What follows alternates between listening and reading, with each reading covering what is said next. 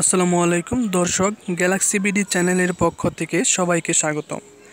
আজ আপনাদের দেখাবো কীভাবে আপনাদের ফোন থেকে আপনারা অতিরিক্ত এমবি কেটে যাওয়া বন্ধ করবেন। অনেক সময় দেখা যায় আমাদের ফোনে মোবাইল ডাটা অন করলেই অটোমেটিক এমবি কাটতে থাকে, হাবিজাবি ডাউনলোড হতে থাকে। আপনারা চাইলে সেটিংস থেকে একটি অপশন চালু করে রাখলে এই সমস্যাটি থেকে মুক্তি পাবেন। তো কথা না বাড়িয়ে আমি কাজে চলে যাই। প্রথমে আপনি সেটিংসে যাবেন।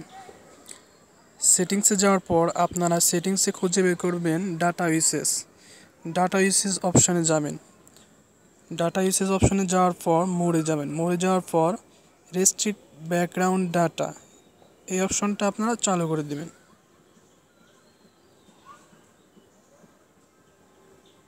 একটু ওয়েট করুন।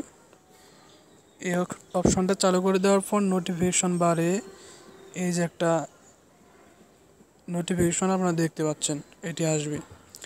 এখন কি হবে? আপনার ফোন থেকে কোনো অ্যাপসই অটোমেটিক এমবি কেটে নিতে পারবে না। আপনি যখন অ্যাপের ভিতরে ঢুকবেন, তখনই শুধু এমবি কাটতে পারবে। তাছাড়া এমবি কাটতে পারবে না এবং অটোমেটিক কোনো কিছু ডাউনলোডও হবে না। আশা করি আজকের এই ভিডিওটা আপনাদের অনেক কাছ, কাছে ভালো লেগেছে। তো ভিডিওতে লাইক দিতে পারেন আর অবশ্যই আমার চ্যানেলটি সাবস্ক্রাইব করে রাখবেন, যাতে আপনারা পরবর্তীতে আমার আরও ভিডিওগুলো পান। সুস্থ থাকুন ভালো থাকুন খোদা হাফেজ